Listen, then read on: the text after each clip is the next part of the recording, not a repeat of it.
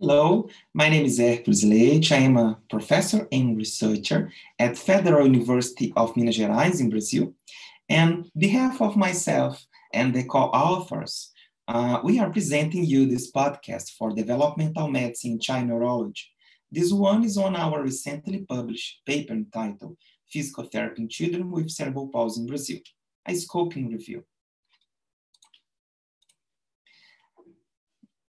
At the beginning of the 21st century, the World Health Organization proposed significant change expansions to the rationale and language of health and disability. This framework, the ICF framework, reminds us the importance of focusing on the activity, participation, and contextual aspects of people's lives instead of uh, beyond just offering therapies aimed at fixing impairments in body functions and structures.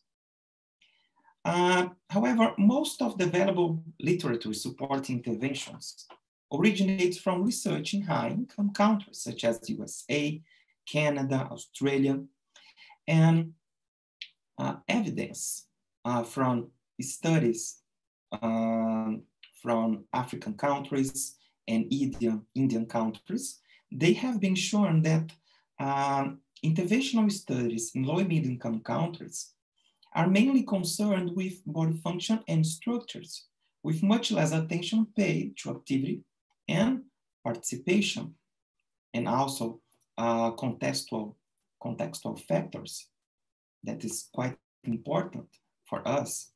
So to date, there is no, there is no information addressing the scope of the literature regarding CP in other low-middle income countries, such as Brazil. As we know, Brazil is the fifth largest country in the world with over than 200,000 physiotherapists. Brazil is also considered one of the top 25 most productive countries in CP research and one of the most productive low and middle income countries in this list, so understand the nature of the Brazilian research literature may help Brazilian researchers to improve their approach and how they deliver updated information on physical therapy to pediatric community. The aim of this systematic review uh, was to identify published studies that addressed physical therapy in Brazilian children and adolescents with CP using the ICF framework lens.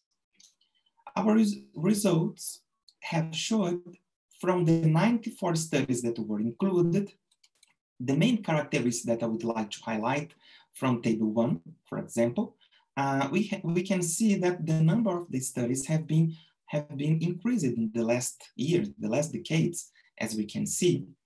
Uh, and these studies are mainly from Brazilian regions, uh, such as South, Southeast and South, regions that has been receive, receiving um, uh, more funding and more financial resources. Regarding the Oxford levels of evidence, as we, uh, as we can see on the top level one, we have the strongest evidence and at the bottom level four, five, the weakest. Our results show that 70% of the studies were classified as level four.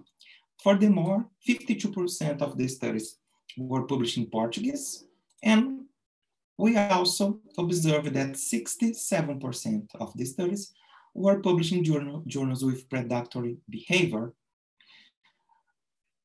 Uh, regarding the, the most fre frequent intervention reported from the studies, on the top, we have SWE therapy, followed by NDT, neurodevelopmental therapy, NTDCS, transcranial direct current stimulation, and, uh, and then we have other uh, quite common interventions here in Brazil, such as hydrotherapy, virtual reality, and so on. And then, uh, what are uh, what are the ingredients and outcomes investigated from these interventions that we have uh, that were reported in our systematic review? So we decided to open the physical therapy intervention box, and then we uh, the results showed that considering the intervention's ingredients, at the top we have body function and structures, followed by activity, and scarcely by scarcely ingredients such as participation and environmental factors. and considering the investigator outcomes at the top activity, followed by body functions and structures, and scarcely uh, participation in environmental factors as investigated outcomes.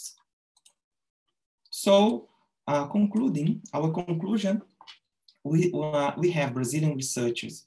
Uh, we know that Brazilian researchers must expand their focus on therapeutic to include contextual and participation factors. Well-designed Brazilian intervention studies might facilitate evidence-based practice and reduce the gap between the research and clinical fields. And many strategies could be considered, such as partnerships between junior and senior researchers and research centers, for example. So these are our, our acknowledgements. We are grateful for the contribution and participation of all co-authors and also uh, the, the funding through PPSUS. Thank you for listening and hope you all enjoy the article.